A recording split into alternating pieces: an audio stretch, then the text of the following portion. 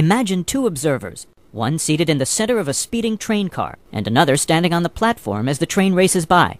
As the center of the car passes the observer on the platform, he sees two bolts of lightning strike the car, one on the front and one on the rear. The flashes of light from each strike reach him at the same time, so he concludes that the bolts were simultaneous, since he knows that the light from both strikes traveled the same distance to his eyes at the same speed, the speed of light. But what does the passenger see?